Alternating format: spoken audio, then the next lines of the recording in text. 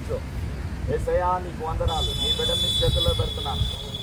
ఆ బలహీనతను ఆ బంధకాన్ని ఏసు నామములో తొలగిపోవును గాక నీ బిడ్డకు విడుదల నీ బిడ్డకు స్వస్థత నీ బిడ్డకు పరలోకం.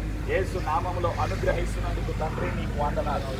ఆటంకాన్ని బంధకాన్ని ఏసు నామములో తెంచివేస్తూ క్రీస్తు రక్తంలో బిడ్డకి విడుదల ప్రకటిస్తున్నా.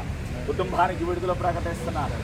రక్షణతో కూడిన ఆశీర్వాదాలు స్వస్థత కలుగును గాక అని ఆశీర్వదించి ఏసునామలో ప్రార్థిస్తున్నాము తండ్రి.